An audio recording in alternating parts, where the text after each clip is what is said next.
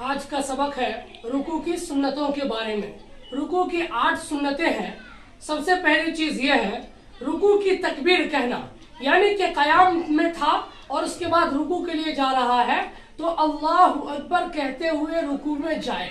Number दो है, रुकू में दोनों हाथों से घुटनों को पकड़ना, यानी कि ये दोनों हाथ है, दोनों हाथों से इस तरीके से घुटने को पकड़े कि घुटना का जो हड्डी है वो पूरा इस हथेली में आ जाए, इस तरीके से पकड़ना है। नंबर तीन है, घुटनों को पकड़ने में उंगलियों को कुशादा रखना। जब घुटना को पकड़ेंगे तो इन पाँचों उंगलियों को जम करके यानी मिला हुआ नहीं रखना इस तरीके से, बल्कि इसको कुशादा यानी खुला हुआ रख के फिर उसको घुटने को पाँचों उंगलियों से पकड़ना है। नंबर चार है, पिंडलियों को सीधा रखना।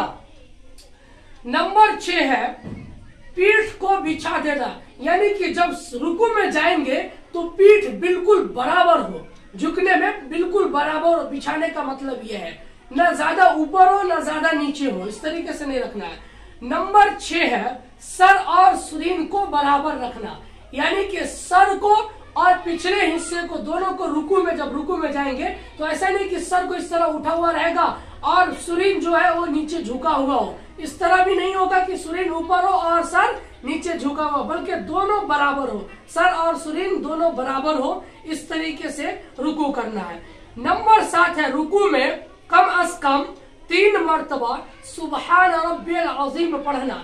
अगर कोई चाहे तो तीन मरतबा पढ़े, और अगर कोई चाहे तो तीन मरतबा से ज़्यादा भी ताक यानी कि सात मरतबा, नौ मरतबा, इन आददों में वो क्या करे? तस्बीह पढ़े सुबह अजीम। नंबर आठ है, रुकू से उठते वक्त इमाम को समी अल्लाह हमीदा कहना और मुख्तरी को रब्बना लकल हम्द कहना और अगर मुनफरिद हो तो दोनों कहना।